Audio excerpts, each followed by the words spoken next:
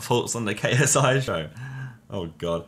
So like this, this is interesting, but this is controversial, right? You have to break it down. So ultimately, JJ's show is is sick. It's incredible, right? And I see it obviously from a production side of things because I make videos. I went to uni and when did a whole production. Like my, my, I studied digital film production with Con, right? So I understand productions and what goes into a production, not just here's here. It's very easy to watch something on a 16 by 9 YouTube screening or whatever, or Moment House screening and go, yeah, it's poo, mate. It's shit.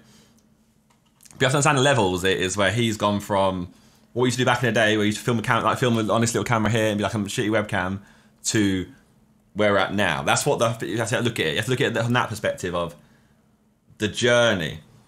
I do agree on a lot of things though, like regards to even our involvement. I think we probably could have had a better involvement in it that wasn't like my, my part that I played, I coughed. It's pretty good. Um, but it depends, it? it? depends on how you look at it and what you perceive it as. Yeah, I think some of the sketches could have been better. Like I think you could have done better sketches. Even with Heskey, maybe just asked. If you, I think I almost would have rather, rather find out what, what Heskey's thought process was on the whole Heskey thing as, a, as the meme. But I think a lot of people have criticised JJ for the way he promoted it. Maybe, like maybe maybe overhyped it. But if, if you're in marketing, right, you have to. You, that's the whole point, right? You're supposed to hype everything up. I think a lot of people also, I guess, who are younger, don't understand the concept of the three ghosts, right? Because that's from Scrooge.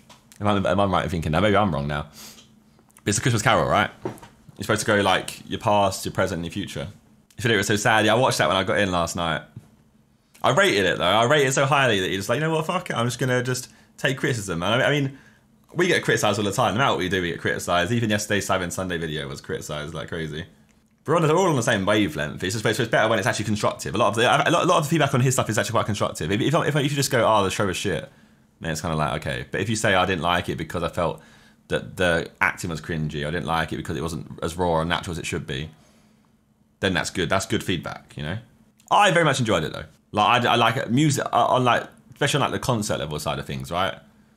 I really enjoyed that part. I thought that part was sick. But I, I like the production side of things. So if you don't like, if, if you're there for the pure like a show and entertainment, maybe not.